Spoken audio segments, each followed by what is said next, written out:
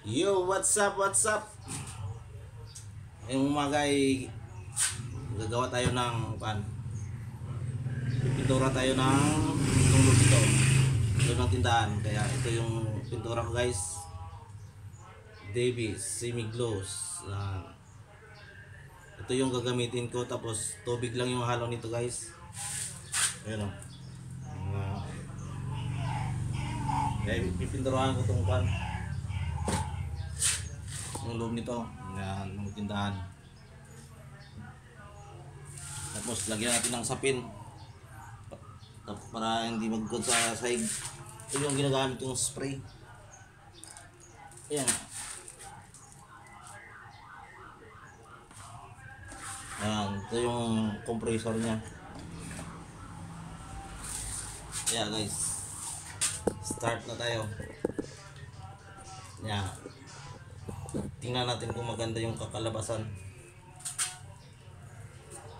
Kaya intro muna. Kitang tunay nga nagapuyo sa higat sang baybay. Ayan guys, umpisa na natin magkuhan.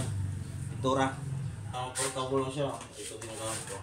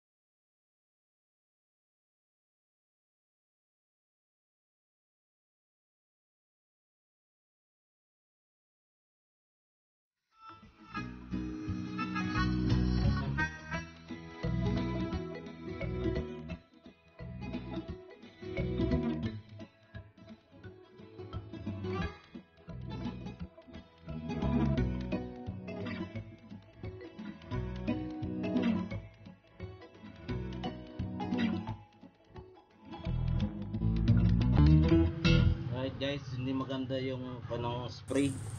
Kaya gamitan na natin ng brush. Brush na lang para mas okay. Eto. Isa na kung spray gamitin natin kasi mas mabilis.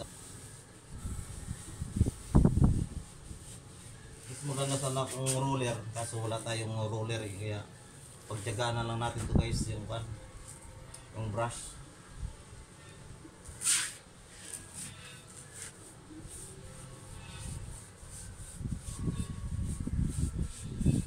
Kaso yung spray kasi magan pangit ang kalabasan.